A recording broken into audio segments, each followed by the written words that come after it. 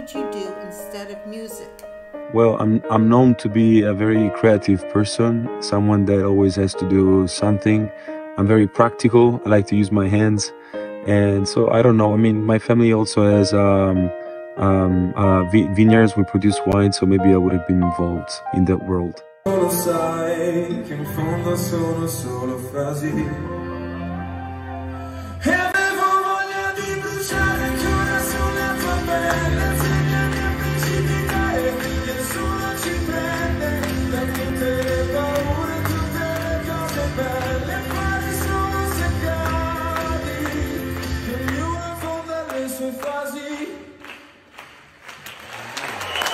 Lo sai che in fondo sono solo frasi